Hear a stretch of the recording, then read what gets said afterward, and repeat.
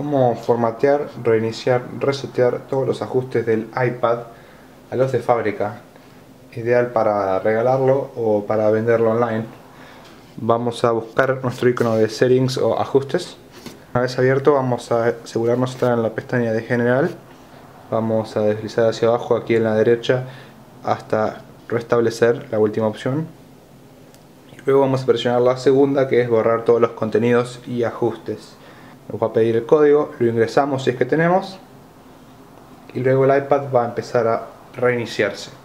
Al iniciar nos va a dar la bienvenida y la pantalla de activación exactamente como cuando lo compramos.